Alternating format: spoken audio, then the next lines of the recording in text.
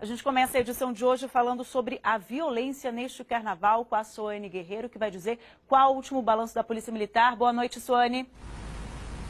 Oi, Willy, boa noite para você, boa noite a todos. O balanço da segurança foi divulgado ainda há pouco, no iníciozinho da noite, por volta das seis e meia. E hoje parece ter sido o dia mais tranquilo desse carnaval, pelo menos até agora. A Polícia Militar não registrou nenhuma ocorrência até as 5 horas da tarde. Duas mil pessoas estavam no setor comercial sul, já no setor bancário norte, 15 mil foliões e outros 10 mil foliões no estacionamento do Mané Garrincha. Também não houve nenhum registro registro de criança desaparecida. Já a Polícia Civil, de ontem à noite até as quatro da tarde de hoje, fez seis autuações, quatro em flagrante e duas apreensões de menores de idade. Foram dois casos de lesão corporal, duas ocorrências de dano a bem público, um registro de embriaguez ao volante, um caso de furto em veículo e um furto em coletivo, além da apreensão de substância entorpecente por um menor. Agora, o que tem impressionado realmente as forças de segurança é o número de armas brancas que foram apreendidas entre os foliões.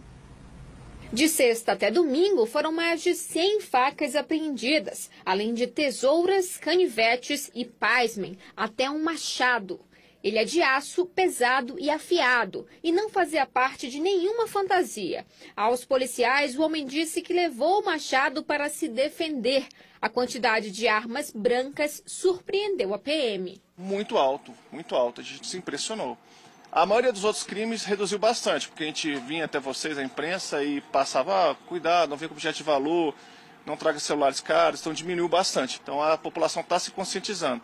Agora, essa quantidade de facas foi impressionante. O machado foi apreendido no bloco dos raparigueiros, que junto com o também tradicional Baratona, reuniu cerca de 70 mil pessoas no eixo monumental neste domingo. Segundo a PM, durante a folia, sete pessoas foram atingidas por objetos cortantes, entre elas um policial, que levou uma facada na perna enquanto atendia a uma ocorrência de roubo. A polícia militar fez quase mil abordagens aos foliões.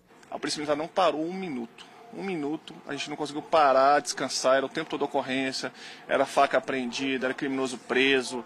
Além disso, ontem o Corpo de Bombeiros também socorreu 12 vítimas de arma branca e 4 de objetos cortantes.